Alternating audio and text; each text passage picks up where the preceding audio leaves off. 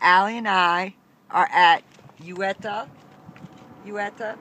It is the duty free store, and we are going to get real we're- cheap cigarettes and we're liquor. like five yards from the border. Allie and I are at Ueta.